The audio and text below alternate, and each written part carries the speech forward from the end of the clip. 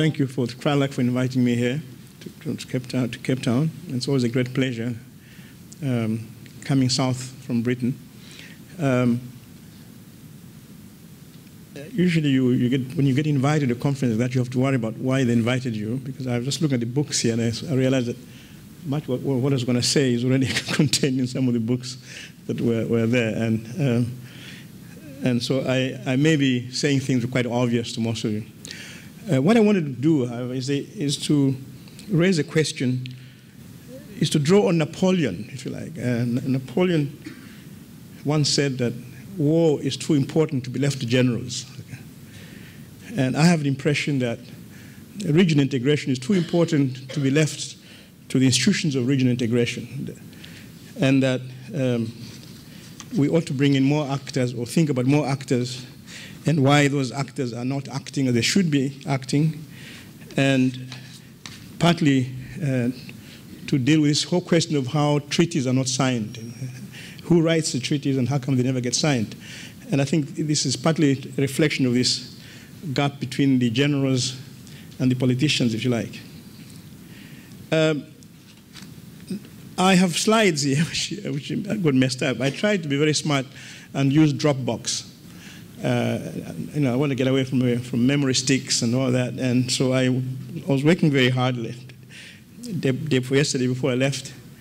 And after I finished my slides, after I revised my slides, I, try, I saved them and switched off my computer, only to realize that actually the file was not uploaded. You know, the revisions were not uploaded. and so I've been struggling to, yeah. anyway, the file is on my hard disk and it did, it's not in the cloud as I thought it would be. Uh, the moral of the story is don't trust clouds unless you have a very fast computer. uh, so anyway, what I have here, uh, if I, if, I, I look, if I seem very confused in my presentation, it's a reflection of uh, my adventures with Dropbox. And um, also it's a, a, reflection of my normal confusion about lectures. So that's, that's a good excuse anyway.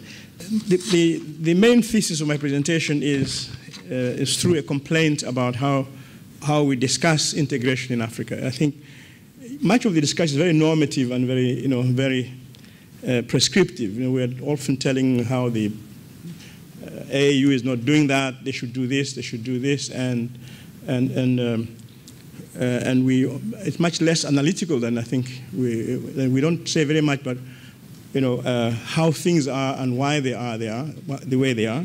It's very much a lot about uh, what they should do.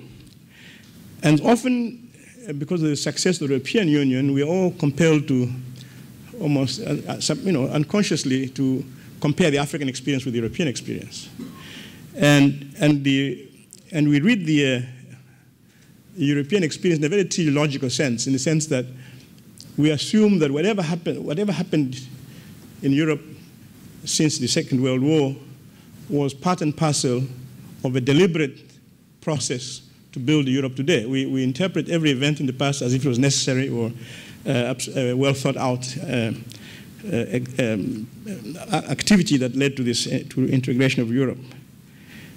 And often, and this is perhaps my main point, I'll be arguing that most of our discussion on regional integration is actually detached from the key interests at national levels. And um, and often doesn't pay much attention to actual capacities of African states uh, to perform the roles that they are assigned to. Um, I have, in my, in, in, old, in my older age, become much um, more generous to African states uh, by perhaps saying, looking that maybe some of us were, in our younger days, we were expecting too much of them and often assigned to them roles that were perhaps historically impossible for them to perform. So it's not an apologia for the state, but just a, an attempt to understand why states do what they do. I don't have to argue, and I'll not be arguing the case for, for regional integration. I, am a strong believer in regional integration, and I consider myself a Pan-Africanist of the mode. I think that, um, and the case for integration has been stated a thousand times. I don't think one need to re repeat that. But what often, in, in most of the debates about after the case is made about why we, have, we should have integration, and then we always end up with a line which says, Well, it's not been done because of political will. And almost invariably, the conclusion is uh, because of political will, this has not been done. I think what we should be doing, perhaps more, we should do more of, is to begin to, to begin to ask whose political will, and why, is, why doesn't that it will manifest itself in the way we want it to manifest itself. And, and I think that's an important question to ask if we are going to, be, going to, going to, go, uh, going to go beyond the usual process where we, we give the list of why we should integrate, and then we end up, well, political will says no. Uh, and the question then being why the exercise if you know that political will will say no anyway. So you might as well uh, start off getting the political will story clear before we begin to give prescriptions. Uh, I think sometimes we are also unkind to ourselves to the, perhaps my general, let me just start with, with a, a much more positive note about regional integration before I, I, I, I discuss the negative side. I think um, Africa bring, first of all, Africa brings out very conflicting, uh, conflicting uh, experiences about uh, regional integration. On one hand, there's a lot of evidence, you know, there's a lot of account that African, intra-African trade is very low. But then if you look at the, at the regional level, you find that uh, there are different experiences between, say, uh, the levels of regional integration of, say, uh, East Africa, of intra, intra regional trade in East Africa is much, much higher than, uh, I think I have a table somewhere, uh, if, it's, if one can read that. Uh, you know, it compares, it's, it's quite high compared to what one ex would expect. And uh, in fact, East Africa compares fairly well with, uh, you know, with ASEAN and with, uh, and with even with Mercosur, if higher than Mercosur. No. So within Africa, there are differences in the, in the performances. And I think we, can, we have to understand why the differences within Africa itself. I think an important exercise um, to, to, find out, to learn from within Africa why certain regions are doing better than other, other regions. Um, it's also true that, um, eh, you know, that there are some, area, in some areas, one region does well in one part of the area. For instance, COMESA is doing relatively better than other countries in terms of labor movements. And it could be, and there is evidence suggests that given our levels of development and infrastructure, we are probably trading as much as you can expect. That, is, uh, that you know, the, that if you look at the levels of intra-African trade, and if you control for other variables such as level of industrialization, level of diversification within member states, infrastructure, we're doing as well as we can. And we have to, therefore, so maybe it's not the fault of the, of the regional technocrats that we're not doing as a, uh, as we should, uh, as, as we expect, you know, as we, you know, that we're not doing as highly, or, or at least as, as, we think we should be doing compared to other, uh, other parts of the world. We are, of course, the, there's huge confusion within Africa, and uh, I, I, put this spaghetti map of African integration, this, you know, you, where African countries belong to all kinds of uh, uh, um, contradictory arrangements. And and there are often lots of jokes about this spaghetti ball integration of Africa. Um, but if you look very carefully, there's a logic behind the madness. Um, uh, the logic being partly the political nature, the political origins of member states. Member states in Africa have many identities, uh, which they have to deal with. They cannot, you know, if you're francophone, you're francophone. You cannot simply ignore. So they have to worry about those, you know, you know, um, um peculiarities of their, of their origins. And, and so that creates, in trying to manage these uh, multiple identities of these states and multiple roles, they end up joining all kinds of uh, integration. And each of these, if you look carefully, has a logic behind it. Okay? The main trick is not to, to dismiss the, this logic, but to find out how these logics can be made coherent. Okay? And, um, and I think we don't do enough work. We, we, we look at that and say, look, this is crazy. African countries are in all kinds of arrangements. But actually, if you drew, if you drew the European uh, story and didn't confine yourself to only economic, you will find similar problems of Europeans belonging to all kinds of arrangements, uh, which sometimes don't, you know, uh, don't, over, you know, don't always you know, um, coincide. So the, the trick really is find out what are these elements, what's the logic behind this, and can these logics be, be reconciled? that requires more, uh, um, I think, more, more research, if you like. As, as a researcher, you often require more research. But I think it just, I'm trying to point to a, to a, to a call for a discourse that is less uh, dismissive of, um, of these complexities. Uh, and, you know, uh, because obviously people cannot be that crazy as to join 20, uh, one country belongs to five, six uh, schemes. Uh, there is, of course, I should say that there, there, part of this can be a result of the madness of individual leaders. I, I don't want to dismiss that. Uh, there are many cases when two heads of state in Africa meet and sign an agreement, next day it's a national, you know, we're, we're integrated. But, but quite a number of these have a very, a very strong historical and in some cases even economic logic for, for, for their existence. Um, let me just move faster than I should be. I will use as drivers of regional what I call the seven eyes, okay, to explain what's the, so the things that drive integration. Not to explain, but to pose question, to, pose, to use these as, a, as, as sort of entry point for discussing uh, regional integration. One, of course, is initial conditions, and um, then I have um, ideas, interests, individuals who play a very, very important role in African politics, uh, institutions, industrialization as a measure of level of development, and international context.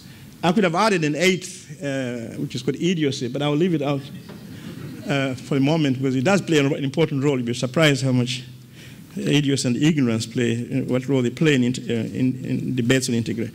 But now, getting in initial conditions, this is probably still the heart of the matter for African countries. Uh, and there are two types of initial conditions I'm referring to here. One has to do with um, just the size of, the, of, Africa. You know, Africa is huge.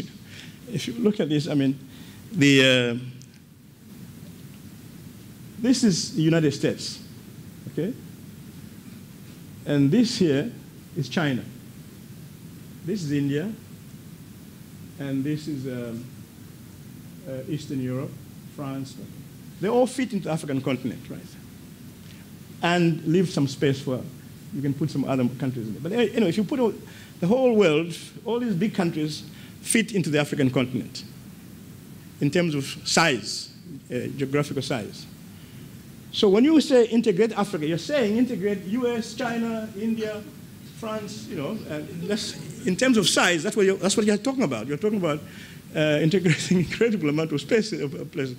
And I think it is remarkable that, in fact, in Africa, we do have some project of integration still. Uh, if you just look at the sheer size of the continent and the distances, and in a continent with very bad infrastructure, so that these distances are even worse than we think we would imagine. The other map shows an, a different story. Uh, this map here shows, this is Africa here, this is the economic size. Okay.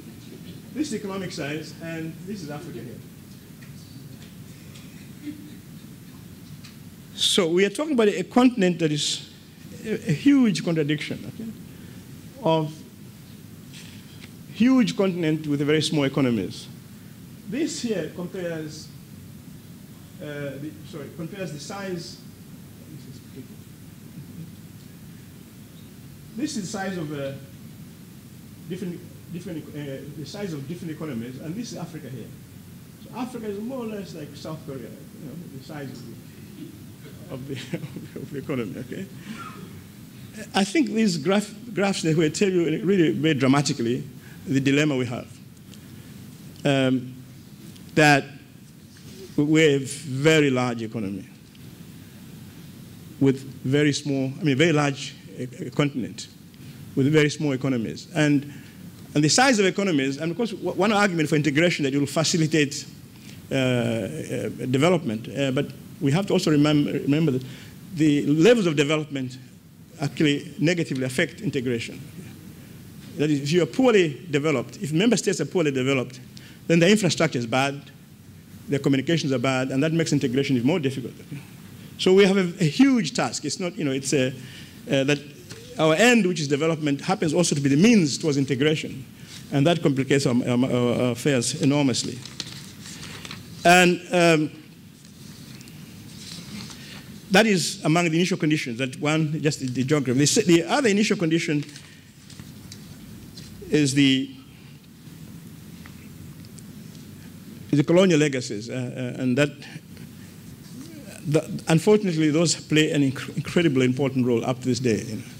And for those who are involved in this Pan-African organization, know how uh, how important these uh, colonial uh, legacies are in terms of alliances, in terms of understanding what integration is, in terms of even how states are constituted, and, they, and of course they also leave behind pre-existing you know, regional arrangements, which some of them contribute to that uh, spaghetti ball I was talking about. So that's uh, one of the eyes. The second eye I was talking about was ideas, uh, and um, well,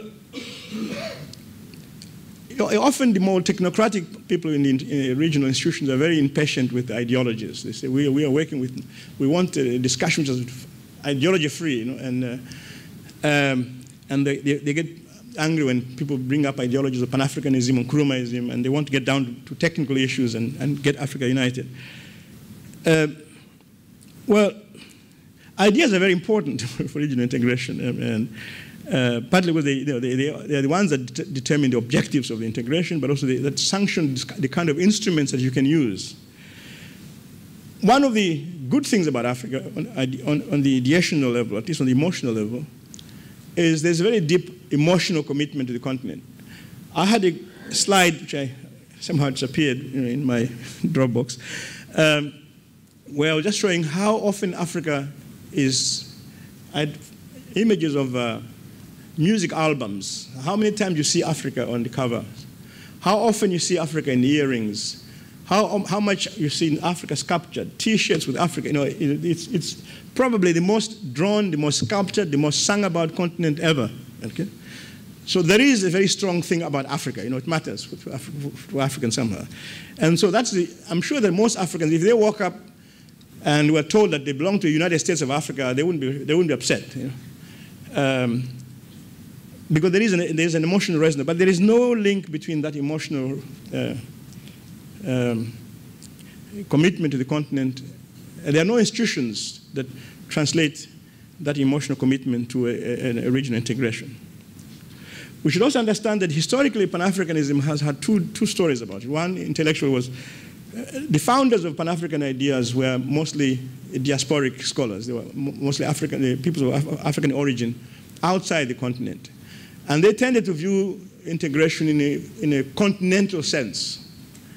And, and they had no, there was no room for nation states. Until in 58 meeting in Accra, that was how Pan-African was discussed, was discussed as a, a continental project. Uh, it was only from 58 that it becomes more a, a, state project, a national project. And we haven't yet found ways of reconciling this, you know, this continental vision with actual existence of nation states, with the, the you know, uh, and, and that divide appeared in the early days between the Nkrumah vision, which was Africa must unite, you know, a continental government, and with more, and others which talked about building, having building blocks that start off from the nation state. And we still have that debate going on in, Afri in Africa. And ideas also matter in uh, how you characterize the, the, economies of member states. And today we're in a much more uh, neoliberal. Um, one of the puzzles today is that we're now in a neoliberal uh, era which essentially finds regional integration as a, as a nuisance. Okay? It creates distortions in the, in the language of neoliberal. And so if you have ministers of finance who are neoliberal, having meeting to discuss regional integration, you can be sure it's a non-starter. Uh, because it just doesn't make sense, you know, logically, starting from where they're starting. Much of regional many of the good arguments for uh, regional integration have very structuralist point of view, about economies of scale, about complementarities and so forth, which are very structuralist arguments. And those build on a certain understanding of how economies function. So if you don't have the same understanding of how economies individual economies function, it's very difficult to think of uh, how the, uh, the regional project will look like. I also, one of the eyes, of course, is individuals. Um, Africa has had very big names in the debate about uh, regional integration. I mean, uh, and some of the personal conflicts among the great names of Africa have been decisive in how, how far we have moved. Uh, you know, the, the, the, the names of the Nkrumahs, the Nyereres of the world, the Bandas and all that, they, had, you know, they, they affected how uh, regional integration has proceeded in Africa. And, and I'm now, I understand now between Rwanda and Tanzania, there's a misunderstanding between uh, the, the, two presidents, and that affects uh, how these, these um, individuals uh, behave. We also know that the personal experiences, for instance, in the liberation struggle, this is very, very you see it much more in, in, the, in this region, Southern Africa, the, the ties and loyalties that were created during the struggle for independence uh, among individual leaders have very strong implications on how the region uh, works. I'm from Malawi, and Malawi, we found ourselves often on the wrong side of the liberation struggle. And, and I think up to this day, there are, there are members of the SADC who are very suspicious about Malawi's role in all this. And, uh, and Malawi is often very, they themselves are very insecure about how they are perceived by, you know, by the other member states because they were not part of the struggle. Uh, they were not part of the, uh, uh, the struggle for, for, for, liberation. And those individual, um, I remember once talking to uh, somebody from, from, from Frelimo who, who told me that a delegation, in the member of the delegation from Malawi to Mozambique said there were two people who were supporting Renamo, he said, and you know, from the days of the struggle. And he immediately, that of course affects how the negotiation will proceed because of the, these individual experiences. A big player, of course, are institutions. I mean, are, are institutions. And uh, today we live in a world where uh, much, there's a lot of scholarship on institutions. And, and I think the, one, one thing, of course, institutions can have their own interests. Uh, what, they may be created by uh, political interest or economic interest, but eventually they can acquire their own, their own, their own logic. And in the case of Africa, there's a big question is whether the technocrats in the regional institutions have the same vision as the member states. Okay? Um, the European history, at least uh, one version of it, uh, argues that the young technocrats, the Eurocrats, uh, after the Second World War, uh, that wanted to bring an end to conflict in Germany and, uh, and France, were very important in shaping the, the agenda and in many cases tying up their member states to a European project. And that these Eurocrats, um, as they called them, uh, were committed to this, to a Europe free of war and a Europe in which citizens were friends with each other. And the whole debate we have to ask is whether our own Eurocrats, whether, first, whether we have Afrocrats that have the same, uh, and we'd like to know what drives them. Uh, uh is it a commitment to some Pan-African ideal, or is it just another job, you know, in an international organization? Um, and uh, we just have to deal with this question of uh, what's, how our bureaucracies constituted, the regional bureaucracies, how are they constituted? What are, what are their political agenda uh, and, and how, what's their, uh, their political perceptions of the project they're working in? I think it would be very sad if our Afrocrats uh, didn't, felt they were there as representing their own national government or if they felt they are, they are francophone or they're anglophone. Or, and it'd be sad if they're, if, worse if they're there, uh, just, uh, it's just another international job. that could be, uh, I wish I was in the World Bank, but I'm stuck here, so I'll stay in the African institution. Uh, you would hope that they actually look at this as the career, the dream to work for an African project and, and work for that project. If that is the case, then we're all right. If, if it's not the case, then we're in big trouble. That is, if, if the, the, our Afrocrats have another vision, then we're in, in big, big trouble. Um, the other big institutional problem is much more political, is the nature of authoritarian rule at national levels. I think one can say, with, a fear of contradiction, that there has never been a federation of dictators. No, I mean, maybe you have an example, but I don't know of any federation of dictators. Uh, for one simple reason that, you know, uh, this region integration involves some surrender of, of sovereignty. Now, if you're a life president in Ngwazi, Dr. Kamuzu Banda, how do you surrender sovereignty? I mean, to some other region somewhere else. So the, you have all these little uh, tin point dictators, each of which that sees any surrender of, of sovereignty as undermining the authority. Okay. If there's a high court, for instance, where I can appeal against my government, you know, that's unacceptable you know, in, our, in our context. So we have to, uh, in a way, to re-examine the political underpinnings of uh, our regional integration. Nyerere once called it, because you know, the, the preamble of the OAU was something like, we the heads of state. It doesn't say we the African people, you know. Uh, so it's their thing. And, um, and Nyerere once called this, uh, that the, the OAU was becoming a committee of dictators. I mean, a committee of dictators because you know, it, there was no room for appealing for people against any member state that was uh, mishandling African people. So that creates a, a big problem, that uh, when you have structures which are authoritarian, then um, the, even the Pan-Africanism of the population finds little room for expression. I mean, there's never been any referendum. No country even talks about a referendum for whether they should join a scheme or get out of a scheme. They go in and come out. If the head of state gets angry, he pulls out. They, they, you know, there's no, um, there's no sense that um, you know, these things are, um, uh, should you know, that should be explained and be accept, up, approved by people. I think this idea of the chairperson raised about few people actually signing in into the AU is that's a, it reflects that partly that people are reading in details. Well, especially if Gaddafi was a very important man in the story, that even complicates story, you know, issues. Uh, that member states be, begin to say, well, look, he's a dictator. He wants us to sign this thing. I'm also a dictator. Uh, yeah. so you get the point that you know, you know it, it, doesn't, it, doesn't, it doesn't go through. And, and so in a sense, we ought to, to ask the new democracies, and now they're, they're increasingly becoming more important, and probably will be majority, if, they may be majority, in fact, in terms of uh, citizens, that they, they should begin to play a much more uh, uh, active role and uh, change the, uh, the, the image of the African inter, uh, regional schemes from those of heads of states to those of, uh, of, of, the, of, the, of the African people themselves. Um, of course, among institutions, are, one of the problems, of course, the national institutions. Eh? The national institutions that are in charge of, uh, that deal with regional issues.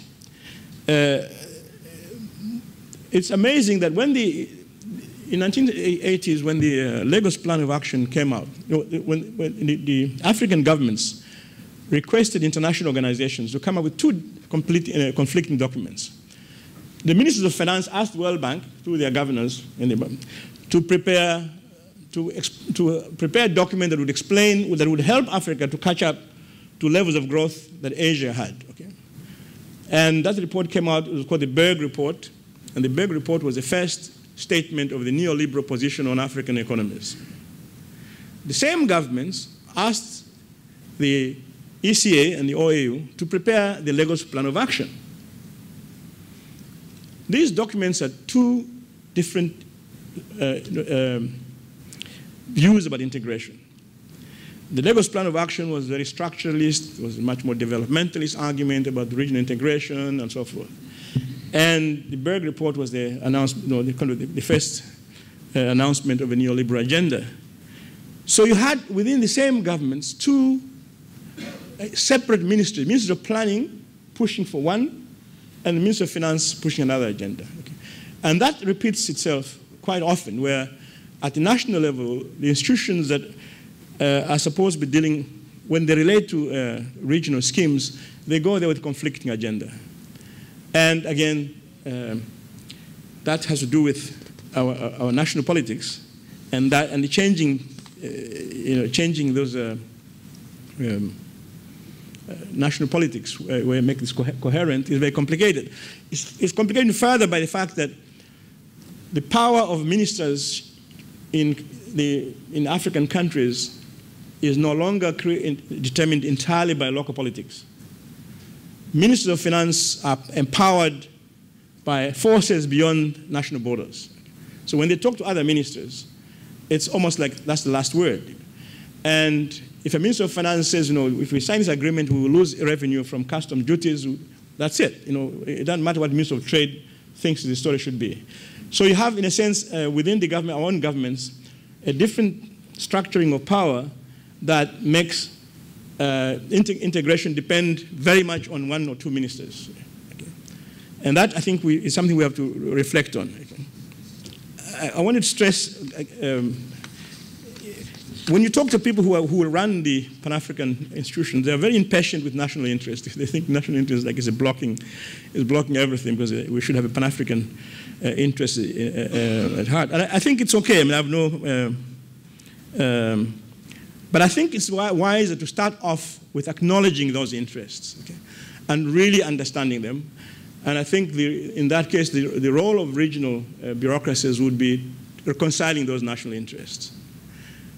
Uh, simply dismissing them doesn't help very much.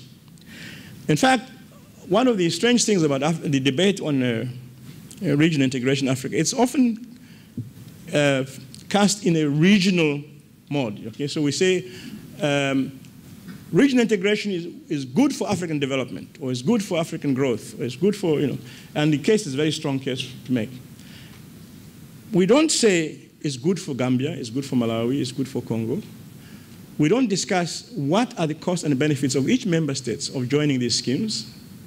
And we definitely have not been successful in devising methods of uh, compensating the losers and taxing the, you know, uh, uh, the winners. And I think you do that if you start off from the premise that national interests are legitimate, they are there, that's one of the, the, the concerns to deal with, and find ways of reconciling them. And one way of reconciling that, of course, we, we, be the technocratic thing that we do. We're talking about you know, measuring costs and benefits and taxes. And, you know. uh, but there's another important element that we should bear in mind, uh, which I think has been, been important in the European case, a notion of solidarity, okay, which brings me back to ideas, you know, that there must be an ideology of solidarity, that we, we must think of ourselves as a, you know, a continent that has, uh, where we, we share certain common uh, uh, objectives and that you may, in some cases, have to pay certain people more than, the, you know, than others. But that's the, that normally, when you think of welfare regimes on a continental level, you would have to have some, some notion of solidarity would have to play an important role. We, among the interests, I'm, I'm, i think that we, we, we, can think of many interests uh, that matter for regional integration. And I think what, the most immediate ones I can think about are those who are directly involved in production. And I have here uh, business as a good example. Um, in the early days of import substitution of, uh, of uh, the 60s and 70s, generally much of the industrialization was, uh, by, was state controlled or joint ventures with TNCs, and it was built on protection of these TNCs to perform in a particular market. And so there were, no, there, were no, there, were no, there were no logical or economic imperatives for these business enterprises to ask for regional integration. They were happy with the national market, were protected.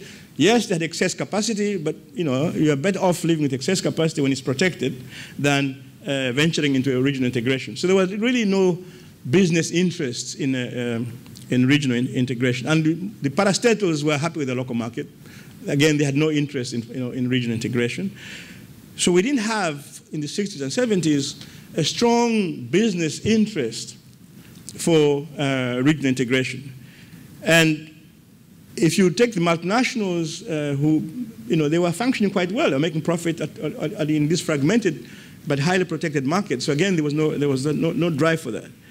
And I think today there's a, probably a change, uh, there may be a, a, new business class that may, may, be interested in regional markets. And we, we need to understand those. Uh, but I'm talking about, you know, some of the big South African companies, uh, Nigerian company like Dangote's, uh, you know, cement factory, which are now they're all they're, you know, they are performing outside Nigeria and investing in other parts.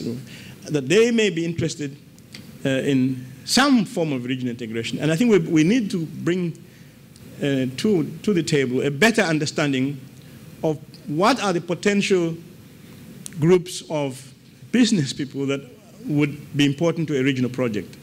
And what are their interests in this regional project? How do you reconcile their interests with the interests of, of the, of, of, you know, uh, of the continent or of, the regional schemes that we're, we're, talking about? I think that the, the, our failure to, to do that uh, almost borders with uh, something like a Hamlet without the prince, uh, that we, we are talking here uh, as bureaucrats, as academics, and as, and the, the actual act, big actors are not involved. You know, they're not, they're not really, uh, we don't really fully understand what they're interested in. And apropos interest, the, there is a discourse on African states, on member states, about how African states are, uh, how individual interests or, or um, uh, class interests or ethnic interests or uh, you know whatever they call them, how they, they affect the state. That the state, in fact, much of the writing about African state is very negative. Uh, in the days of this, in the 60s and 70s, and you know, there was a, leftist, a Marxist critique about African states, which said that these are petty bourgeois, you know, capitalists and petty bourgeois bureaucracies and that you can't expect uh, these petty bourgeois bureaucrats to embark on a, a scheme like regional integration, which uh, requires real and serious national bourgeoisie or real and serious captains of, you know, captains of industry. So there was an argument then that the ruling classes in Africa were petty bourgeois dependent and, and you know, they, and they could not uh, carry out uh, this uh, region, uh, uh, scheme of regional integration. In fact, Nkrumah's uh, some of the later works of Nkrumah, he focused on the, the class problem of regional integration. He, he, he, becomes very skeptical that his colleagues would, uh, who he thought were agents of neocolonialism, would actually embark on a. In more recent years, uh, two dominant views about the state in Africa uh, uh, you know, have somehow affected how people perceive African states. And they see African states as captured by either by rent-seeking interests that dominate uh, policies, and therefore their policies will always be selfish and will not uh, um, be uh, important to the project of, of, of uh, regional integration unless it generates rents for them, for those individual of, of interest. Uh, the other big school is the neo-patrimonial school, that, which says African states are neo-patrimonial. They are uh, meaning basically that they are clientelistic states in which the, the, the, the logic of neo-patrimonialism affects um, policies of the state. This view of the capture of states, whether by rent-seeking or by neo-patrimonial, is then said to make regional integration impossible. Okay. Um, I personally don't share those views, uh, but I think what these views point to is the need to understand actual the nature of member states in Africa. Um, if you believe there are rent seekings driven by uh, greed or something like that, of course, you can forget about uh, uh, regional integration. Um, uh, my, as I said, my, i have written quite critically about these views. Um, I think they're too simplistic, and I think that they, they, they reduce human um, motivation to very narrow economic interest. But I think they, they do point to, to the importance of actually understanding how member states are politically constituted uh, before we, again, for us to understand where, uh, um, uh, where we are. Um, as I said, these, these were my, my opposition, this, uh, this uh, I, I, I, should go. This brings me, of course, to question of the state. Brings me to question of the state, um, which is, of course, is a very important actor and in the case of Africa, as I say, the regional integration has been a very state-centric project. It's the state that has, in many cases, it, you know, it's, it's sees itself as the, the, guardian of national interest. And in many, in that, and given the centrality of the state, I think we have to understand more, more so the, the weakness of the African state as, a, as an actor in the, in, the, uh, in the project of regional integration. I, I, gave some of the reasons that people suggest why they, they think they're, they're, they're, they, they may be weak. But I think it's very important that state, the, the very nature of statehood has certain imperatives. Eh? and we may not like those imperatives, but there are things that we have to worry about when we think about regional integration. Uh, we normally give our discussion, we give a lot of prominence to, um, to economic integration. But actually, the, the states themselves have given many other reasons for uh, uh, integration. Okay? Um, and, and those reasons, which normally people were, were, you know, were interested in economic integration, uh, uh find very annoying. Eh? The government themselves talk about uh, self-reliance, and they talk about peace and regional you know, uh, conflict management, and there are a lot of diplomatic concerns about how uh, they should deal with each other. And those objectives should not, again, be dismissed as just wasting our time because we want to get down to business of economic integration. I would argue that, in fact, uh, the lessons so far that some of the strongest um, unifying elements are non-economic. And uh, it can be, as I said, in Europe was uh, to end conflict between, France and Germany, and to end war in Europe was much more important than maximizing the rate of returns of, of particular industries. And even within Africa, SADC, uh, the strong motive factor of SADC is not, was not economic. It was, the, it was the liberation struggle. And it has remained, in some sense, symbolically, an important thing that ties this country together. ECOWAS today, when you, think, when you go to West Africa, if you think about ECOWAS, uh, one of its most important role has been intervention, peace, peace building or you know, uh, uh, of maintenance of peace in the region. Okay? So we have to um, find ways again to of bringing, of, of um, exploiting these non-economic motives for regional integration. Uh, and we wouldn't, be, as I said, we wouldn't be the first one that does that. you know, all the other, other, other regions have done the same thing. You know?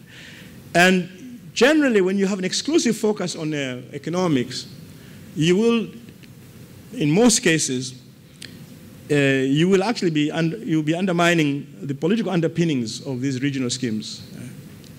And that's why it's important, um, I think, that we, you know, we pay attention to uh, these non-economic objectives of, uh, of regional integration. As again, when uh, bureaucrats, in, uh, both national and regional bureaucrats, often call for, we must depoliticize this, we must uh, have integration debates with, with depoliticize that. Um, the in, regional integration is a political project. Okay? When, it, when it functions at all, it functions when it's a political project. And so we have to uh, um, relate to this um, national interest, which in, in today's world are expressed through states of different uh, capacities and different ideological uh, uh um, uh, persuasion. And then I come to the other I is industrialization. This, um, this I, I, use it as a, as a measure of levels of development. And, in, in, in I, would, I should have probably included under that the other I, which is infrastructure. But anyway, the, the levels of industrialization of member states is central to the politics, to, to the performance of our, our, our schemes. And we have very low levels of industrialization in Africa, so I, don't, I need, to, need not to replace that. And as I said earlier on, it makes uh, um, important, it makes, make, makes certain things very difficult in terms of, of, of, integration. One of the things I want to stress about industrialization is um, the importance of economic conjuncture in understanding the political behavior of African states. I have drawn a graph here of this is the performance of African economies since 1960. And you will see that they, between 1960 up to the 80s, there was fairly high growth in Africa. And then we entered through the lost decades of decline. And from, 95, from about 95, we have the so-called Africa Rising story. Okay? It's interesting that if you look at the different schemes, the, the Lagos Plan of Action was written when Africa was doing very well. In fact, the, if you, the, the, the, when African heads of state, and the African governors at the World Bank requested uh, this Berg report, the famous Berg report, their problem was the following. How do we make our economies, which were growing at 5.7% at that time, grow as fast as Asian growth? That's what they asked the World Bank. they were thinking of raising the growth rate from 5.7 to the Asian level, which was about 6 or 7%. Well, the World Bank gave them 0%, which they got for, uh, as an answer from the World Bank. Somebody once said, we asked for bread and they gave us a stone. The, the, the Berg report gave us this two decades of, uh, of very low growth. But the point I want to make is that the language of the Lagos Plan of Action and the optimism was around a project of fairly successful economies. Uh, the oil prices were doing well. No, they were, they they had, there was a dip at that time. There was an oil crisis, but the assumption was that this was a temporary uh, problem. The future in Africa was going to be one of collective self-reliance based on resources, and, and, and, and the Lagos Plan of Action talked a lot about how we can convert our resources into industrialization and so forth. Then came the SAP, the, uh, the SAP uh, era, and basically regional integration was put off, was set aside. Member states were each being forced to liberalize, and each was being forced to forget about preferential treatment of anybody in, in, in, in your region. NEPAD, in a sense, comes um, pretty much towards the end, tail end of the lost decades, okay? and has was ob, ob, you know, maybe obliged, maybe the, I don't know what you call it, but obliged to take a language of, of a, a neoliberal language. It became a, a project premised on showing to the rest of the world that Africa accepts the markets and there'll be good governance and so forth and give us $64 billion. Okay? Uh, we didn't get the $64 billion, but, but the point was that there, there, was an ideological, there was a moment, it was a, a project which was based, uh, a reflection of Africa's weakness, if you like, Africa's collective weakness. While as the, the Lagos Plan of Action was premised on the assumption of a strong Africa. The, the, you know, the, NEPAD quite remarkably, when it, the document came out, one week after the pronouncement, the four heads of state, uh, Mbeki, Wade, Obasanjo, was it three of them? Yeah, they went to Paris to announce the, uh, to inform the Europeans that, of, of NEPAD. Uh, that was, you know, just even, the, even the very fact of going to France to announce NEPAD was indicative of Africa in a much weaker position uh, uh, in, in negotiation. So, in a sense, what I'm trying to say is that regional schemes in Africa are affected by these global uh, conjunctures. I think today's debate would probably be premised pretty much on some of the, NEP, the Lagos Plan of Action spirit, that Africa is in a slightly better position economically. Uh, more and more countries are escaping the hold of the Washington crowd. And so you you can imagine much more, uh, more, more, independent states negotiating regional schemes than they were, say, if you were negotiating in the, you know, in the 80s, you know, in the 90s uh, today. So conjuncture mat matters a lot for uh, African e economies.